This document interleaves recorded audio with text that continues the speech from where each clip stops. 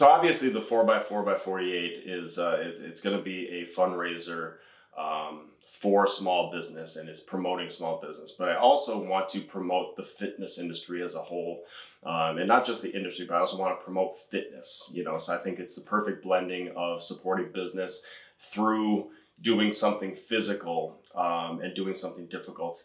Uh, one of my biggest disappointments in this whole nine month process here is that uh, physical fitness, health, well being has kind of been brushed aside uh, during a time where I truly believe that it should have been pushed to the forefront and should be the the a number one thing on everybody's mind right now is hey you know there's this pandemic out there that is out of my control how do I do everything within my control to make sure that I'm fighting against this and also other viruses and other illnesses and and just health in general. You know, we all know that um, you know one of the one of the biggest comorbidities associated with COVID is obesity and everything that comes with obesity, high blood pressure, diabetes, things of that nature.